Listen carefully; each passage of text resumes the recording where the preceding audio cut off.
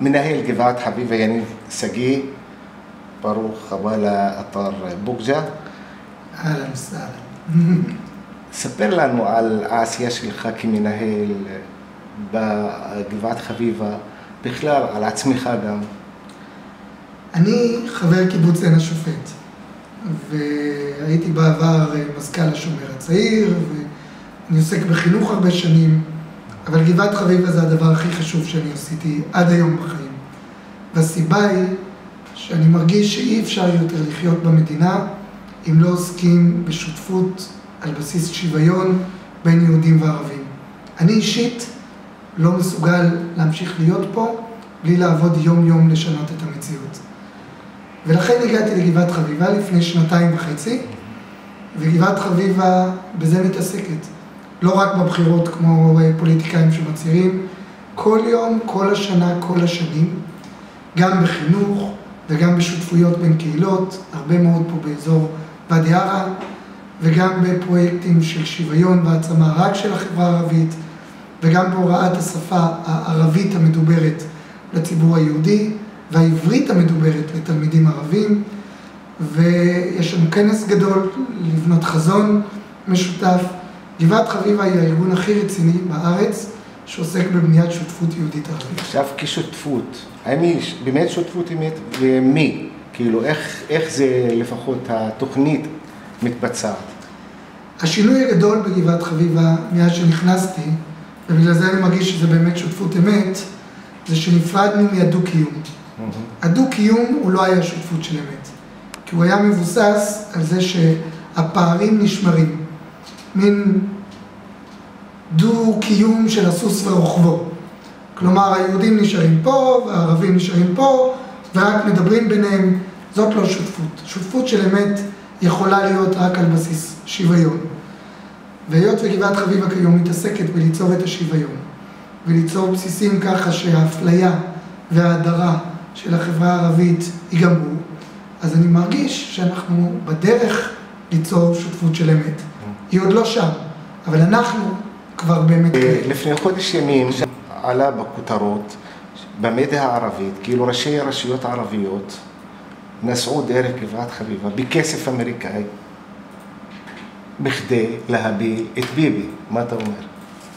קודם כל אני אומר שכדאי להפיל את ביבי.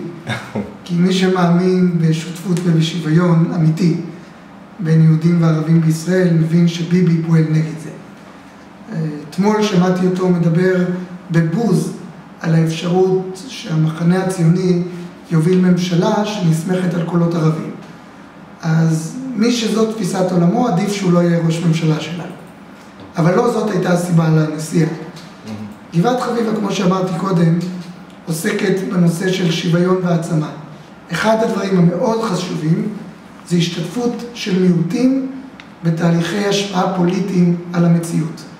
בארצות הברית, ככה הקהילה האפרו-אמריקאית, הקהילה השחורה, שינתה את המיקום שלה מלהיות קורבנות של השיטה, עד לרמה שיש נשיא אמריקאי שחור.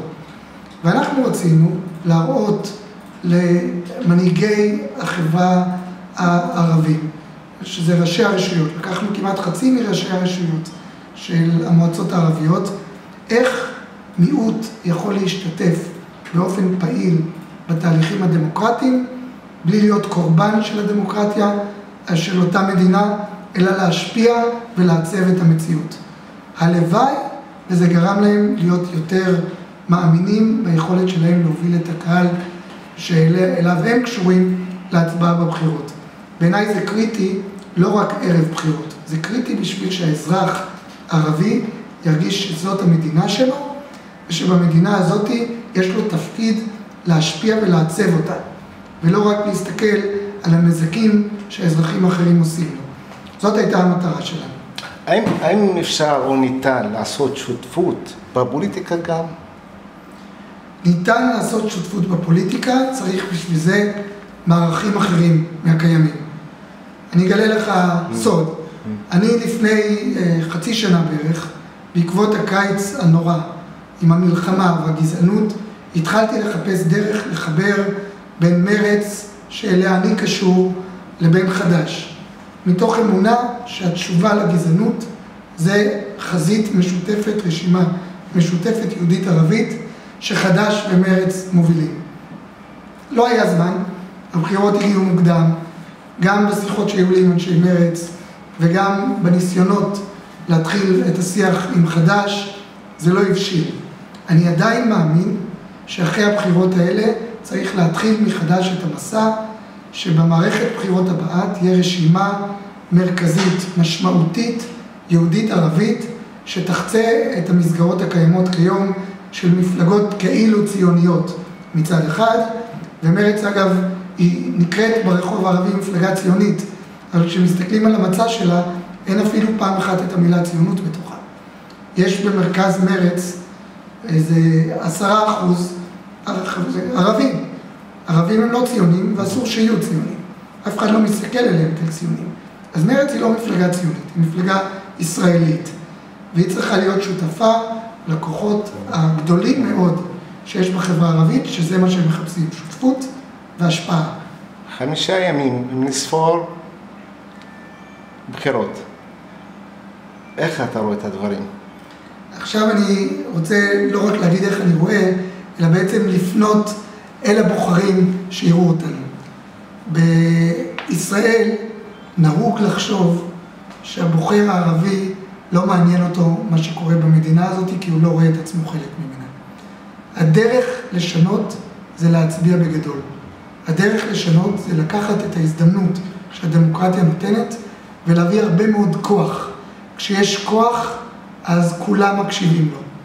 אני פונה אל הבוחרים הערבים והיהודים כאחד. קודם כל, צאו להצביע. ההצבעה שלכם באמת באמת תשנה. אחר כך, בהתאם למה שאמרתי בריאיון הזה, תצביעו למי שמייצג את השותפות בין ערבים ויהודים בארץ הזאת. מי שיום אחרי הבחירות יפעל כדי שהערבים יהיו חלק מהכוח בישראל. שהם יהיו שמה, איפה שמקבלים את ההחלטות. זה ישנה את המציאות בחברה הערבית, וזה יהיה הבסיס לדמוקרטיה, וזה יבטיח ביטחון לכולנו. זה העתיד שאני רואה, ואולי, אולי, אולי, הדבר הזה יתחיל לקרות מעוד חמישה ימים, כשביבי ייפול והשותפות הזאת תתחיל להירקם, ואני מאמין שבבחירות הבאות נגיע ביחד חזקים. תודה. תודה רבה. תודה רבה.